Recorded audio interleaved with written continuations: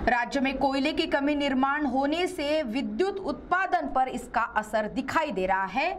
और वही चंद्रपुर महाउष्णिक विद्युत केंद्र के मुख्य अभियंता ने चंद्रपुर के महाउष्णिक विद्युत केंद्र के संबंध में क्या जानकारी दी, देखते इस खबर में। राज्य में कोयले की कमी होने से विद्युत उत्पादन पर इसका परिणाम होता दिख रहा है? वहीं उत्पादन से अधिक मांग होने पर राज्य में एक प्रकार से विद्युत को लेकर संकट मंडराता नज़र आ रहा है। और ऐसी परिस्थिति में चंद्रपुर महाउष्णिक विद्युत केंद्र में लगभग सात दिनों तक कोयला रहे कितने कोयले का भंडारण किया गया है। और विद्युत केंद्र के साथ ही यूनिट पूरी क्षमता के साथ में शुरू रहने की जानकारी विद्युत केंद्र के मुख्य अभियंता पंकज सपाटे ने दी।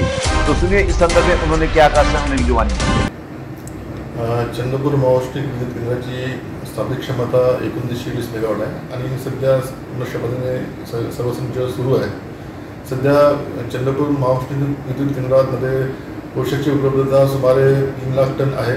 जो सात दिवस पुरे थोडा पुरेसा साठा आहे. आणि पावसाळ्याच्या दृष्टी ज्या व्यवस्थापनाच्या इंधनाच्या व्यवस्थापनाच्या दृष्टिकोनातून महानगरीचं इंधन व्यवस्थापन विभाग कोळशाची पुरेशा कोळशाची व्यवस्था करण्याचे प्रयत्न करतो विशेष प्रतिनिधी वैभव की रिपोर्ट.